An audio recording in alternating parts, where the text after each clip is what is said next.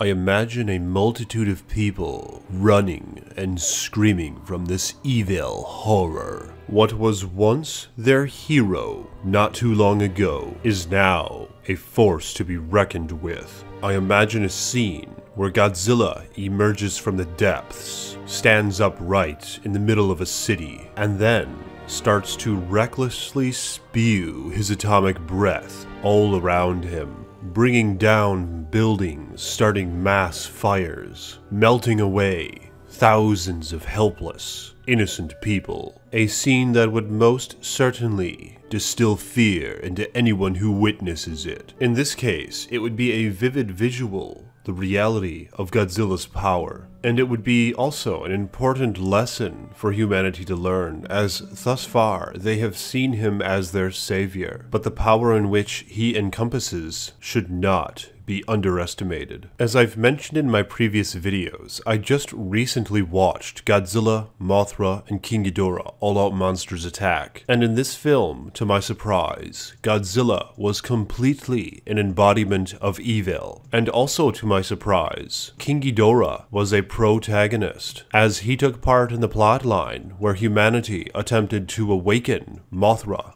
and King Ghidorah in order to help stop Godzilla. It made for an epic film, and I found a liking to a Godzilla who cared not for humanity. In fact, so it seemed, he despised it. The look in his eyes, the wickedness about him, the rogue nature of his being, I found to my liking. It was an intriguing thing to watch, and his merciless attitude was enticing. So far, with the upcoming Godzilla 2 King of the Monsters, we know that Mothra has to do again with the temple, to where, I speculate, humans, or the Cosmo Fairies, will attempt to awaken Mothra in order to fight Godzilla. Also, we know that King Ghidorah is frozen in the Arctic, so who will melt away and awaken such? Other than humanity themselves. Now, assuming that Godzilla will be evil in this film, for the most part, goes against the grain of what most of us, I think, theorize. But it would perhaps be a pleasant surprise to find it to be true, as we all pretty much expect Godzilla to be the good guy in this upcoming film. I speculate he's going to be even more powerful now that he has fought the Mutos. Similar to how he has a regenerative capability, I theorize that Godzilla also has a hyperactive, adaptive capability, to where he is already learning from his mistakes and and his weaknesses. His body is already becoming more strong,